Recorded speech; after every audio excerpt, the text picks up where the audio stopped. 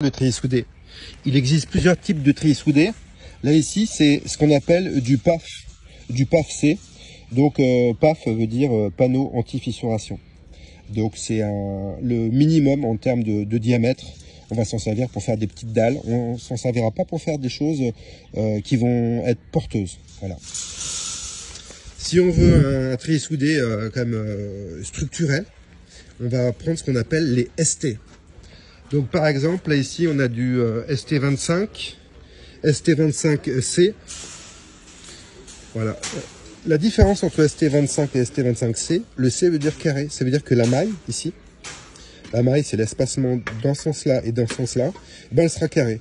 Donc là, c'est une maille 15 cm par 15 cm. Le diamètre de, des fils ici, là, euh, longitudinaux et euh, transversaux, c'est du 7,5 mm. Voilà.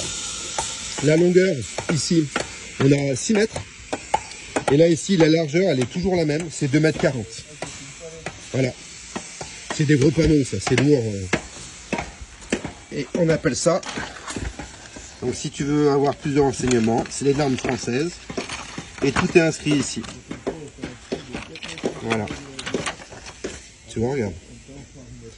Donc c'est tout en millimètres, bien sûr. À part euh, là ici la maille, elle est en centimètres bizarrement. Mais sinon, toi, les diamètres. Euh, voilà, la maille ici, elle est à 150 mm et là ici, sont écrits en centimètres. Voilà, donc c'est du ST25C et 7,5 par 7,5.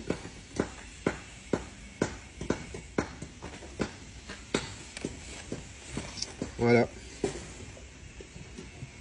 Voilà pour le treillis soudé. Tout ça, c'est du structurel. Tu vois la grosseur c'est du gros. La différence. entre celui-ci, là, les, trois là qu'on a là, et celui qui est au fond là-bas, c'est pas la même chose. Le PAF et le ST.